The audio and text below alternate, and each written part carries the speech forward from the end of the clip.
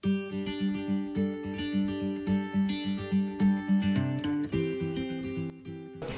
kekasih Tuhan, kembali lagi bersama saya Frederick Siregar dalam Sunday News. Kekasih Tuhan, berikut ini adalah jadwal kegiatan ibadah Gereja Bethany Favor of God selama sepekan. Kesatuan hati, tumbuh bersama dan memenangkan jiwa dalam Family Altar yang diadakan pada hari Selasa jam 7 malam bertempat di wilayah masing-masing dan wajib mengikuti protokol kesehatan.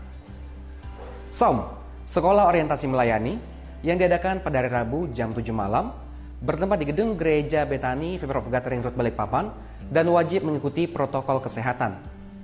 Pengarahan FA yang diadakan pada hari Kamis jam 7 malam bertempat di gedung Gereja Betani Fever of God Road Balikpapan dan wajib mengikuti protokol kesehatan.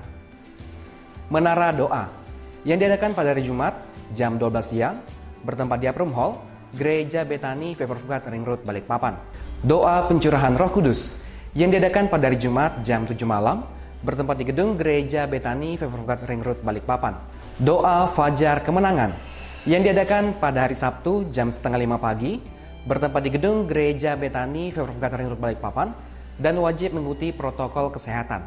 Kekasih Tuhan berikut ini adalah jadwal ibadah raya Gereja Betani God. Ibadah hari 1 jam 8 pagi, ibadah hari 2 jam 5 sore, bertempat di gedung Gereja Betani God Ring Road Balikpapan. Untuk ibadah Aero Generation diadakan jam 8 pagi, bertempat di Apron Hall, Gereja Betani God.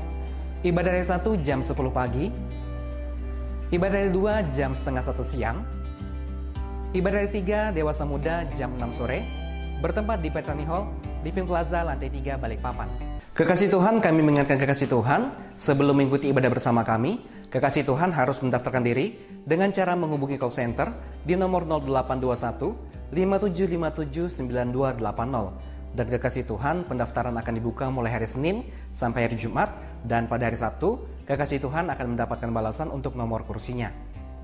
Kekasih Tuhan, kami juga mengingatkan kekasih Tuhan, di mana pun kekasih Tuhan pergi dan berada, kekasih Tuhan harus menerapkan protokol kesehatan.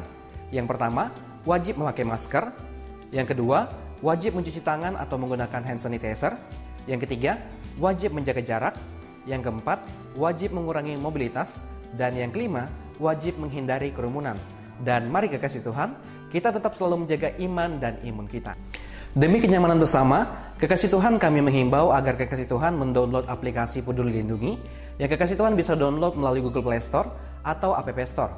Dan kekasih Tuhan, aplikasi Peduli Lindungi ini akan dipakai sebelum memasuki gedung ibadah Gereja Betani Favor of God. Sekian Sunday News untuk minggu ini. Kami mengucapkan selamat datang bagi Anda kekasih Tuhan yang baru pertama kali beribadah bersama kami dan kami juga mengucapkan selamat ulang tahun bagi Anda kekasih Tuhan yang berulang tahun dalam minggu ini. Stay safe and keep pray to God. Tuhan Yesus memberkati. Shalom. Haleluya.